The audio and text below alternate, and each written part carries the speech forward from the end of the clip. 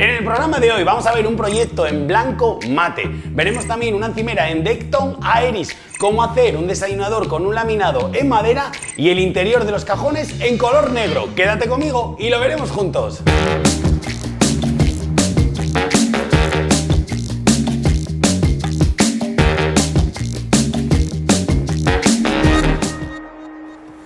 Hola familia, yo soy Daniel Colino de Cocinas CJR y os doy la bienvenida a todos los cocinólogos y a todas las cocinólogas a un nuevo programa. Y me gustaría decirte que si ahora mismo estás intentando diseñar tu cocina, pero no das con ese diseño que a ti te gusta, ese diseño que a ti te enamora, quiero que sepas que todo mi equipo y yo podemos echarte una mano. Te dejo aquí abajo en el primer comentario toda la información. Y quería comenzar diciéndote cuáles son las medidas de esta estancia. es que tenemos 4 metros 60 en esta dirección y 2 metros 60 en esta dirección. Parecía, cuando yo vine aquí a medir la primera vez, que todo el diseño de la cocina debía de sujetarlo esta pared, es decir, concentrar aquí todos los muebles. Pero tomamos una decisión que yo creo que es muy acertada y es partir esta cocina en dos frentes, hacer una cocina con dos zonas. Con esto que conseguimos, dejamos aquí la zona de agua y la zona de cocción con toda la encimera posible y creamos un nuevo ambiente, un espacio, un desayunador en esta otra zona. No queríamos continuar con las mismas encimeras, queríamos darle un aire diferente a esta zona. Por eso utilizamos los laminados tanto de encimera como de frente. Quiero enseñarte también lo bien que quedan los cajones en color negro, aunque por fuera nuestra cocina es en blanco mate y siguiendo con esta filosofía de color en negro, elegimos este paquete de electrodomésticos en cristal negro. Quiero enseñarte un montón de conceptos en interiores que estoy seguro que te servirán para el proyecto de tu próxima cocina. Así que si quieres, quédate conmigo y vamos a ir viendo paso a paso toda esta cocina.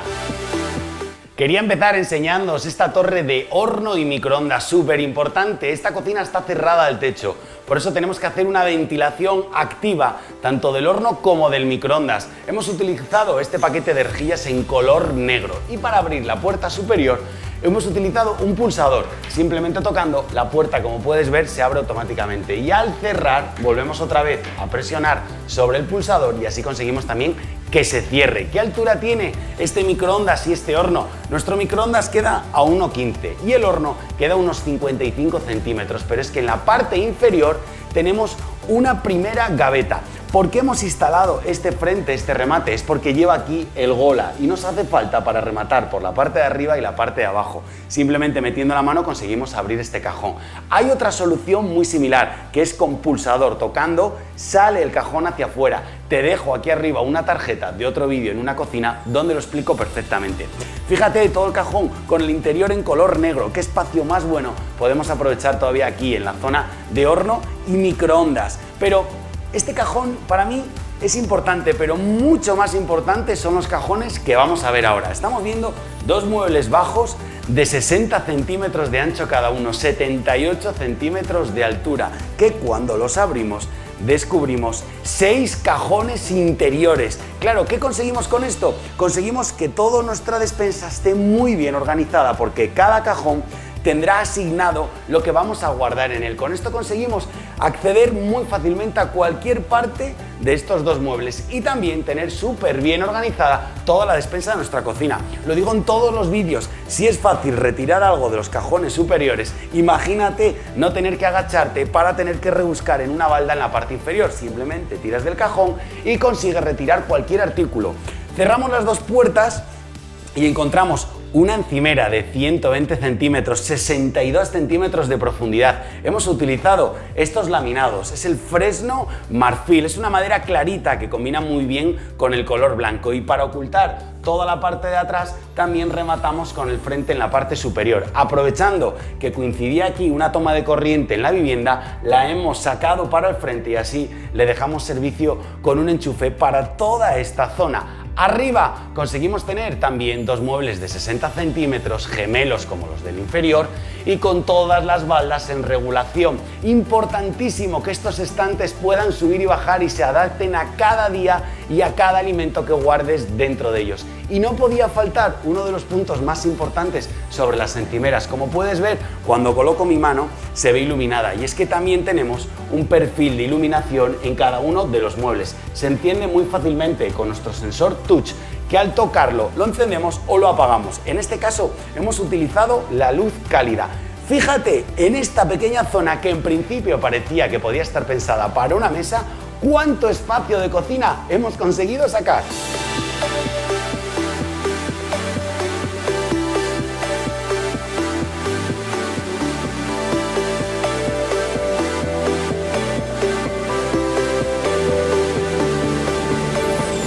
Una de las grandes ventajas de poder dejar la torre de horno y micro en el otro frente ha sido ganar más espacio en esta zona. Con eso hemos conseguido instalar dos grandes gavetas de 90 centímetros. Y es que fíjate qué maravilla tener en tu cocina un metro ochenta para poder tener bien organizados todos los cubiertos de tu cocina. En el interior, nuestra madera oscura, nuestra madera nogal, también con el fondo en grafeno resistente 100% al tránsito de los cubiertos. Y es que a mí me gustan más todo este tipo de cuberteros que van mucho más en concordancia con el resto del proyecto.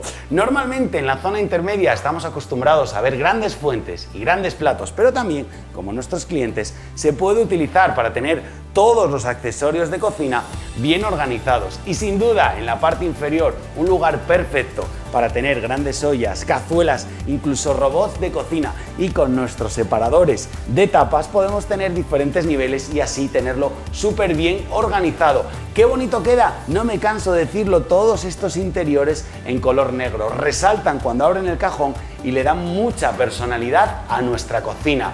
Las gavetas son muy cómodas, pero hay un mueble en el que estoy seguro de que lo agradecerás de por vida y es el mueble del fregadero. Este mueble fregadero mide 70 centímetros de ancho. La parte superior nos deja un espacio perfecto para todos nuestros productos de limpieza. Y mira lo que encuentro aquí, nuestro roll-up, ese escurreplatos moderno como lo he bautizado. ¿Para qué sirve? Lo colocas sobre la encimera y lo que tengas que fregar lo puedes dejar aquí escurriendo. Cuando terminas lo enrollas y muy fácilmente lo puedes dejar guardado en el primer cajón. En la parte inferior, los cubos de basura. ¿Qué hacemos con los cubos de basura en las cocinas? Nunca nos viene bien tenerlos en ningún sitio. ¿Qué te parece la idea de que estén dentro de este mueble? También, aunque tenga los cubos, dejamos un espacio en los laterales para productos de limpieza. ¿Y cómo termina esta zona baja de muebles con lavavajillas? que en este caso lo hemos dejado integrado para que quede fundido con el resto del proyecto.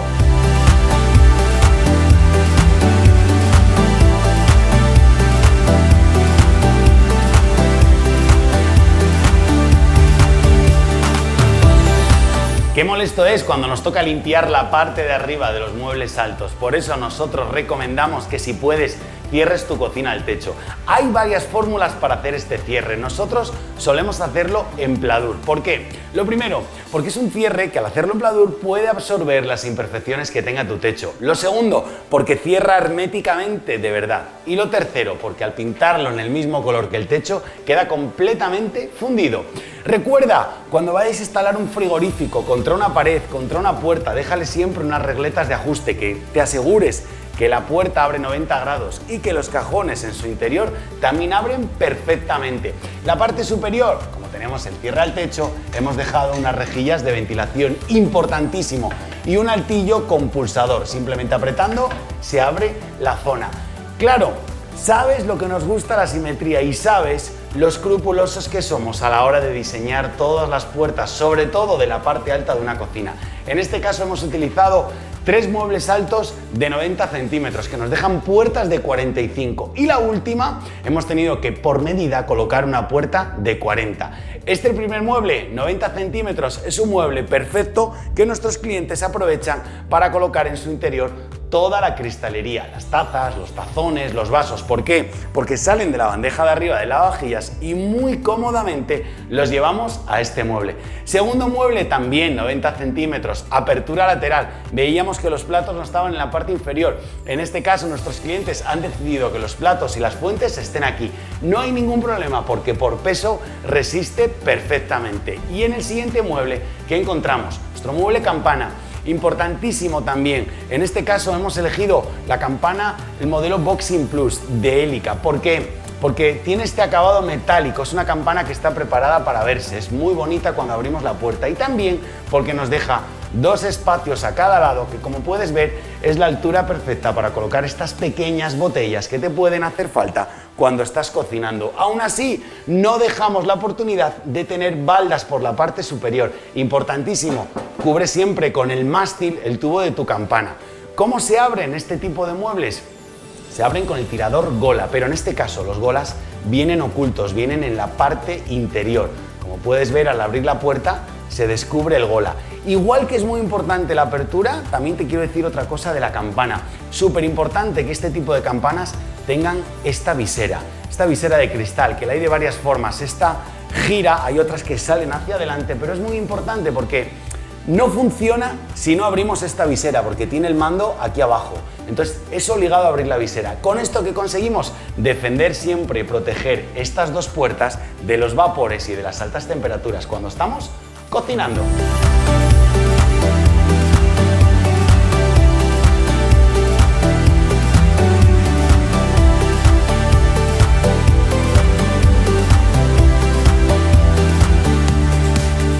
Este proyecto hemos utilizado el mismo material de la encimera para revestir todo el frente. Con esto conseguimos evitar las molestas juntas de los azulejos justo aquí en el puesto de cocción donde más se salpica. ¿Qué encimera hemos utilizado? Hemos utilizado el Decton Aeris, que es un color beige que combina muy bien con el resto del proyecto de cocina en color blanco. Y todavía lo vemos mucho mejor porque todo el lineal de muebles altos le hemos instalado esta iluminación LED que se activa igual que la toma que hemos visto antes con un interruptor touch en aquella parte.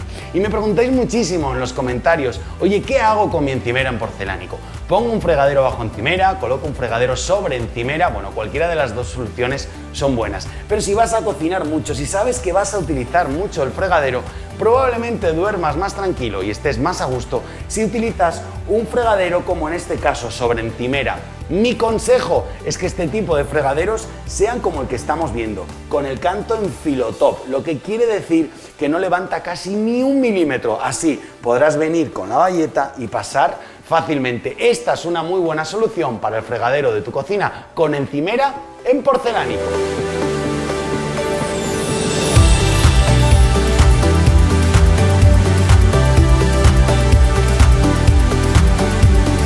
Durante el vídeo has podido ver que solo teníamos tres sillas, pero la hemos movido para poder grabar más cómodamente. Pero en esta mesa de diámetro 100 centímetros es perfecta para que la puedan utilizar cuatro miembros de esta familia. Por cierto, si me quieres apoyar en el canal, suscríbete, que para mí es muy importante y si te está gustando este contenido, házmelo saber dándole al like. Hoy hemos visto cómo dividir una cocina que a priori parecía que debía hacerse en un único frente, partirla en dos zonas y con eso ganar mucha más encimera. Lo bien que queda la madera clarita con estas encimeras en color beige. Dale un toque diferente a tu cocina utilizando los cajones en color negro y lo puedes combinar también con los electrodomésticos. Ya sabes, una buena fórmula para poder cerrar al techo tu cocina. Si quieres ver fotos de esta cocina y de muchos más proyectos en alta calidad, te recomiendo que te pases por nuestra página web www.cocinascjr.com y también, si te está gustando este vídeo, que visites nuestras redes sociales, sobre todo nuestro perfil de Instagram, arroba cocinascjr, porque todos los días subimos contenido fresco a las historias. Oye, a mí me ha encantado estar contigo y presentarte este proyecto. Yo soy Daniel Colino y nos vemos en el próximo vídeo. ¡Adiós! Veremos también un paquete de electro... No. Tomón, tomón. En las doble líneas inter... 100% al tránsito de todos nuestros cubiertos. No, no, no, no, no. Este tipo de cuberteros que no quería decir otra vez, de metros de altura. Color beige, ¿cómo se hace más beige? Pues, pues, pues eso, o lo veis o no lo veis. El beige es así y que resaltan un poco más el blanco. Tenemos aquí un, un intruso. La encimera. En este caso estamos viendo, viendo, viendo, viendo, viendo, dándole al me gusta porque será una ¿Qué le digo yo a mis chiquis? A Valentina y a Daniela, a mis hijas, pues es que si es que solo me dicen, papá, papá, ¿tienes vídeo nuevo? Sí, ponme las tomas falsas, o sea, no quieren ver otra cosa.